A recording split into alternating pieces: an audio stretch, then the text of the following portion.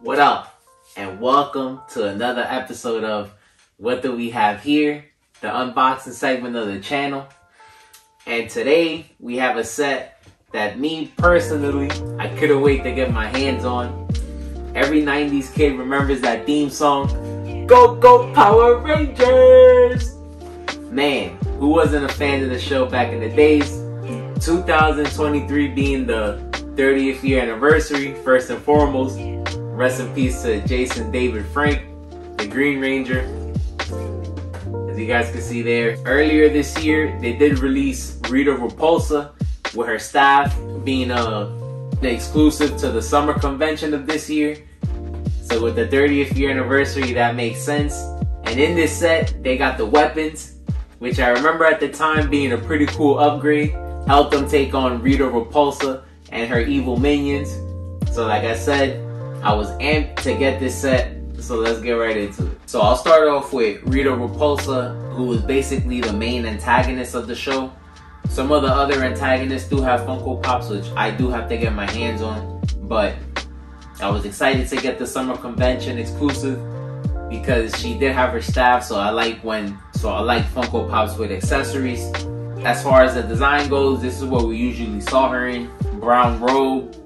But Rita was pretty cool for a bad guy, and she was funny, so shout out to her.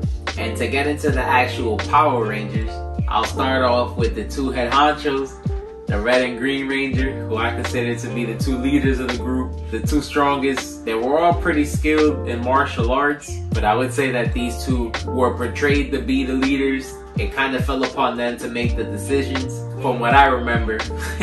but I thought the two molds were cool also because the two daggers are pointing at each other, kind of just showing just how much the Red and Green Ranger did go hand in hand. There's also a mold of the White Ranger. I don't know if we'll be getting a new one, but I'm pretty sure some of you guys out there might have that. So definitely let me know if y'all do. Something that's pretty cool about these boxes is that they did put the helmets on the tab. Here you see the Green and Red Ranger.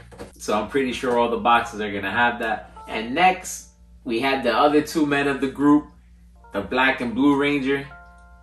The Black Ranger was a fan of dance, so that was something that made him stand out a little bit. He incorporated dancing in his fighting style, so it was pretty cool.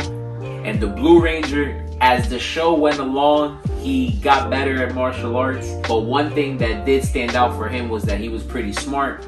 So that's how he was able to help the Rangers out his area of expertise was definitely technology. So shout out to them. Black Ranger has an axe and the Blue Ranger has a staff. Three points on each end, so pretty cool weapon. Again, they also have the two helmets on the back of the tab.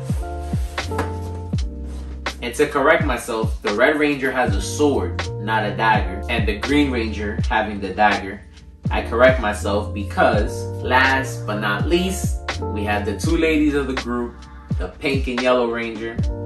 The pink ranger having a bow and arrow, and the yellow ranger has two daggers. Shout out to them. The two ladies were also a force to be reckoned with. Even though some of the enemies expected them to be pushovers, they were taught the lesson very quickly that they were also just as strong and talented as the boys so shout out to the ladies, the two rangers of the show. The pink ranger, Kimberly being a gymnast, she incorporated those type of maneuvers into her fighting style.